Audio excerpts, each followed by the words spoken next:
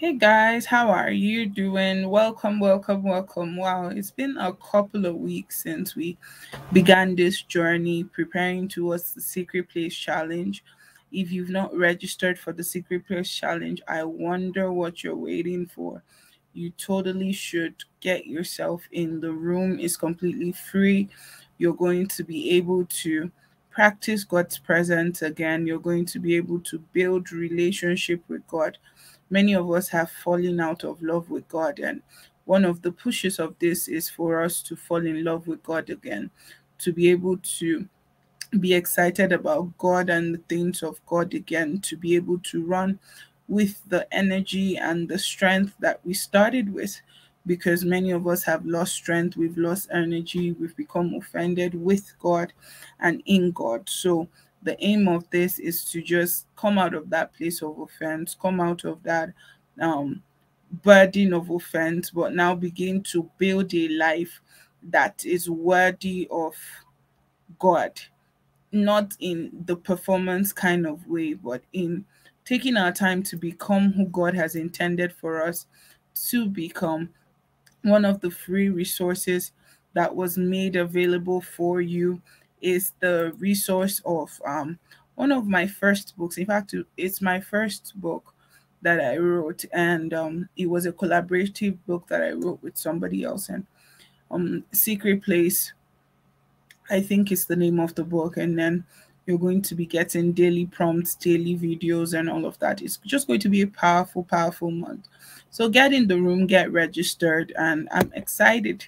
I'm, I'm super, super excited already ah, this this year is already a busy year, but I know that um, we're gonna not lose track of what really matters because in the midst of all the noise, it's very important that our gaze is fixed on what matters, and that's why today's question is so powerful for me because um, I wanna I want to answer two questions in one really. Um, this question says, wise consistency in building intimacy with God hard? And what do you do when you can't seem to get it right? The reason why we think that consistency is hard is because we are doing it.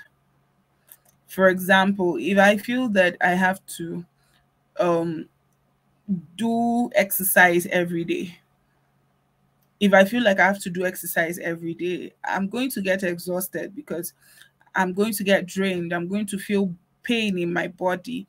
I'm going to feel discomfort that I'm not familiar with, and I'm going to choose to stop instead of feeling the pain because nobody likes to feel in pain. Nobody likes to feel uncomfortable. Nobody nobody likes that odd feeling right? You don't like it i don't like it. Absolutely no one does. And that's completely understandable. That's part of life. However there's the double edged side of it, the other side of it, where we must now learn that it is who we are. Instead of saying that I want to go and exercise, which is an action that I need to do, how about I say I want to be fit? So that even if I feel pain, even if I feel like I don't like vegetables to um, eat healthy and all of that, I would rather eat junk food. The fact that it is who I am becoming right? Because if who I am becoming sinks into me, my actions will align with it naturally. So if I see who I'm going to become by eating right, by going to the gym every time, then it's very easy for me to endure the pain of um, the gym or the abstract taste of vegetables. It's very easy for me to do all that. So, who you're becoming will help you to make the right decision towards what you're doing. So, one of the first questions I want to ask you is why do you want a relationship with God? And who are you going to become in the process of that relationship? You see, for me, it's about being in his image and his likeness and being an a worthy ambassador of God on the earth. It's about representing God in everything that He has called me to be. So even when I don't feel like it, I remember, oh, rejoice, this is not about you. You are representing God, you are His ambassador on the earth. you know, imagine if the ambassador of the United States to Nigeria just comes out and starts smoking on the street in public sight of everybody or starts behaving or wearing um an outfit that shows cleavage and has a very long slit in the presence of everybody. You remember in that moment that that ambassador is representing the president of the United States and the entire nation at large.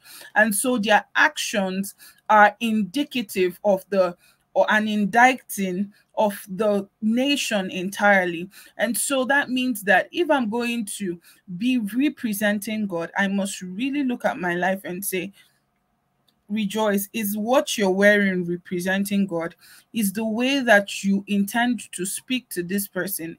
Is it representing God? Is what you're doing right now?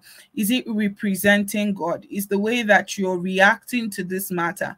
Is God well represented? Will God feel proud of the way you handled this?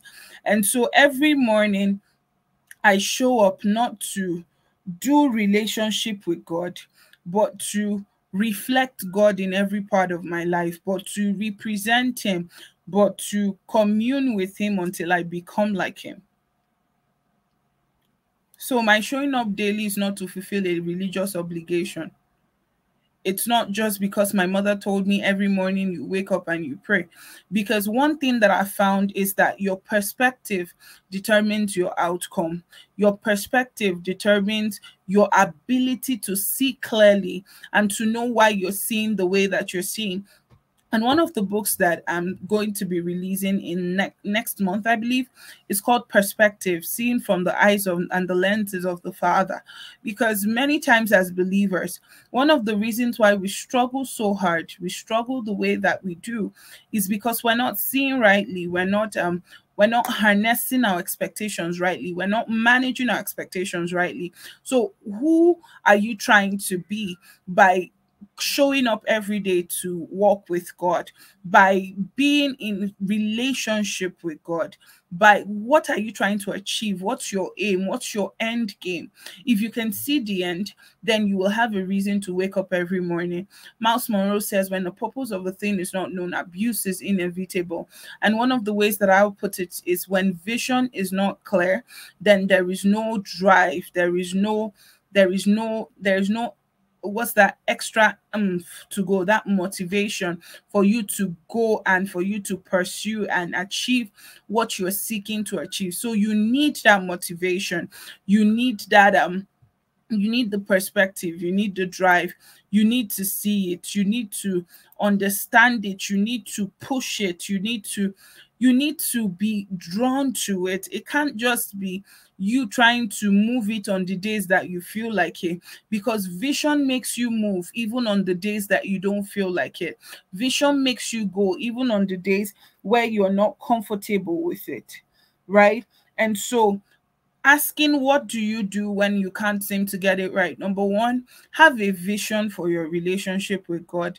You know i read um Hello Tomorrow by Dr. Cindy Trimm. And in that book, she talked about the different areas of your life where you should create a vision for. And one of the things that really stood out for me was the ability to create a vision for my spiritual growth, my spiritual pathway, my spiritual life, so that even on days when I'm tired, even on days when I don't feel like it, I show up.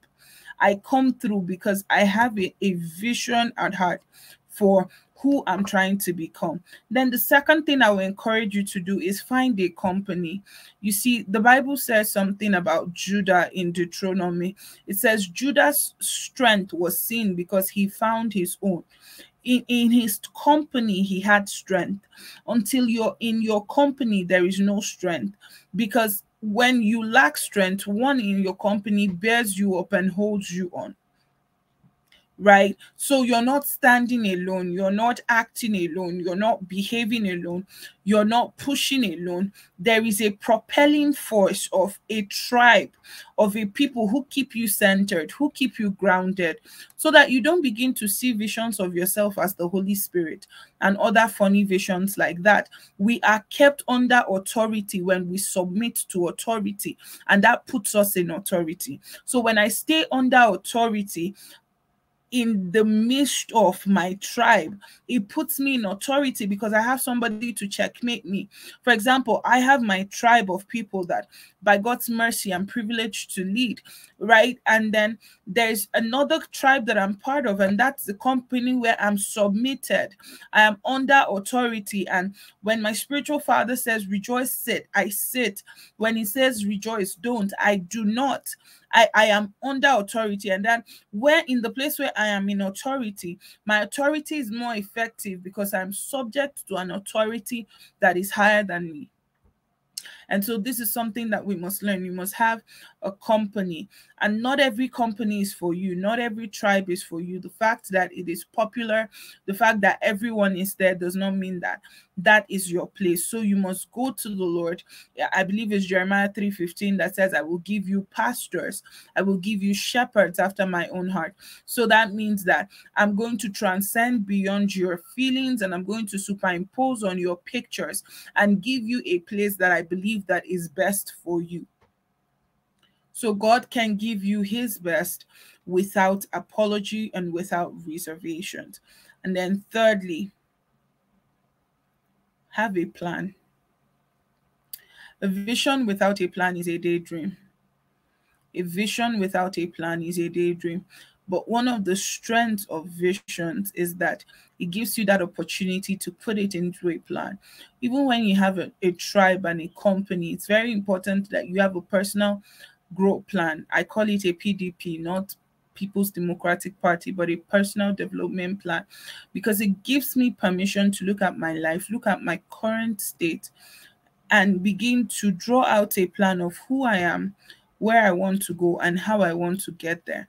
And so, in that plan, the actions that I take in that plan are my decisions on my outcome and where I'm trying to get to as part of my journey. I really hope that this has answered your questions. Don't forget to register for the Secret Place Challenge. I really look forward to you being a part of that journey and you growing better and better in your walk with God. Until I come your way next time, it's bye from me for now.